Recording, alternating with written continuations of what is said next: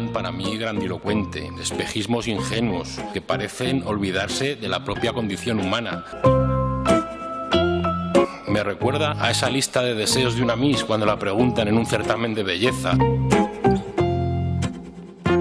Acabar con el hambre del mundo, por la paz del mundo. Muy bonito todo, muy bonito. ¿A quién vamos a dar lecciones de respeto a los derechos humanos cuando aquí se ha decretado un estado de alarma con el que se han conculcado un sinfín de derechos básicos como el derecho a libre circulación, el libre de culto?